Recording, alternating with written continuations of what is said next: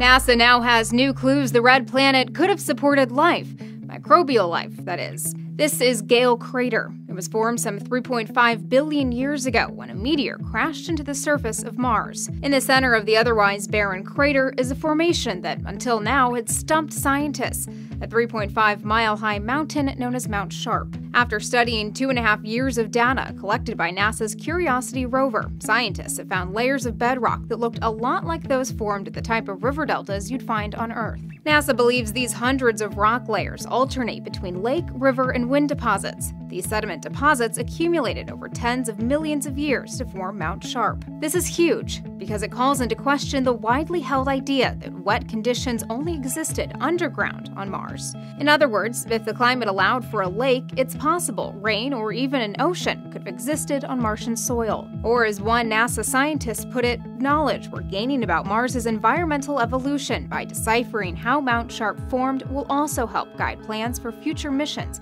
to seek signs of Martian life. The data collected by Curiosity is part of NASA's ongoing preparation for a human trip to Mars in the 2030s. For Newsy, I'm Elizabeth Hagedorn, multiple sources, a broader view.